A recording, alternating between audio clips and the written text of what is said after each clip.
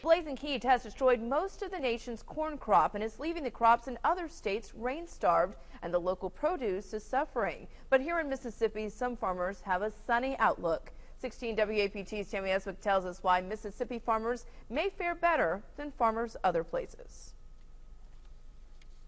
U.S. ag experts say the massive heat wave hurt corn crops across the nation. That means corn is going to get expensive. But here in the Magnolia State, farmers are ready to cash in. Today, the crew at Triple R Farms are gearing up for the early August harvest. So our corn is finished, you know, as far as pretty much, you know, it's, it's ready to start drying down so we can get ready to harvest out west in places that already burned up. You know, the stalks didn't get this tall, so you know, just no rain, just burn up.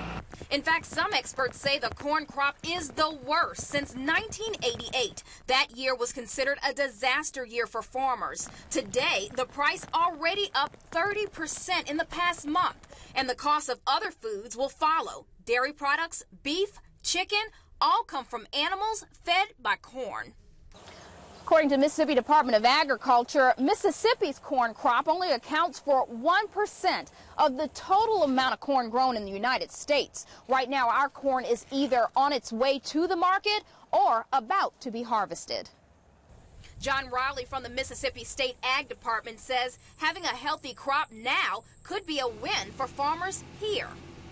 That puts us at a bit of an advantage uh, as you move from the start of harvest to the end of harvest. It pushes prices down. So if we're on the front end of that, we are typically able to take advantage of some higher prices.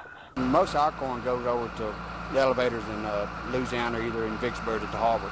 Okay. They're either going to be used for grain or you know, ethanol. Over at Triple R Farms, the trucks have been prepped to get ready to harvest. So how's the rain going to affect us now at this point? As far as our corn, it's not really going to affect us. You know, we just, you know, just we're just waiting for it to get ready. In Bolton, Tammy Eswick, 16 WAPT News.